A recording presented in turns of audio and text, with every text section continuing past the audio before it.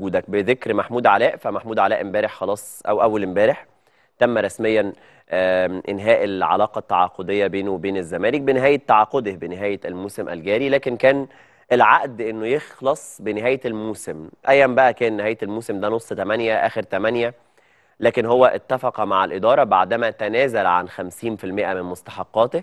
إنه يتم إخلاء الطرف من 30 6 علشان يبدأ يشوف العروض. محمود علاء حاليا بيمتلك عروضا ما بين المحلي والخارجي الخارجي منها ما بين قطر والمملكة العربية السعودية والإمارات وأيضا أضيف إليها أيضا بعض الاتصالات من ليبيا في الأيام الماضية. تعالوا نشوف رسالة محمود علاء المدافع الهداف بعد سبع سنوات في الزمالك. خلالها خرج آه، أيضا معارا في رحلة الاتحاد السكندري. قال الزمالك اولا وأخيرا أو من لا يشكر الناس لا يشكر الله.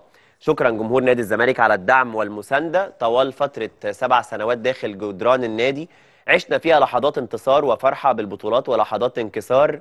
وكان الثابت دائما في مختلف المواقف هي الجماهير الوفية. وعمري ما قصرت ابدا بمجهودي لفرحة جمهور الزمالك. وآسف لو كنت في يوم قصرت وعمري ما هنساكم أنتم في القلب. وأكيد إن شاء الله لنا لقاء. أخيرا شكرا كابتن حسين لبيب مجلس الإدارة.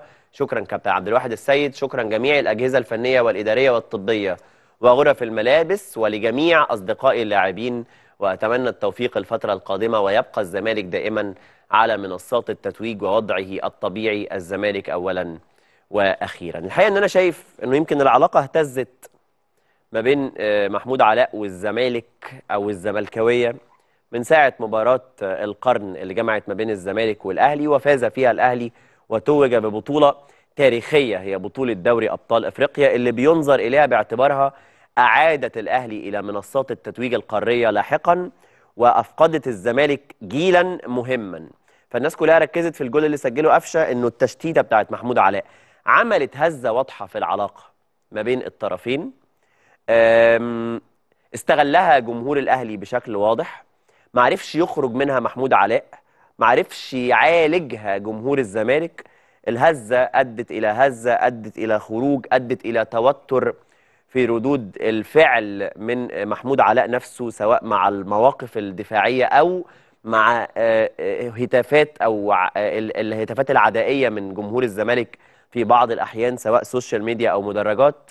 فكانت بت- بتزيد تدريجيا لحد ما غاب عن المشاركات لحد ما انتهت العلاقة لكن ده لا يقلل لو بصيت للصورة الكبيرة لمحمود علاء وما قدمه للزمالك. الحقيقة إن كان فيها فعلا فترات نجاح وكان فيها أوقات كتيرة جدا كان هو اللي شايل دفاع الزمالك في فترات طويلة. فانتهت رحلة لكن العلاقة أكيد مستمرة بشكل عام. عن المباراة مرة تانية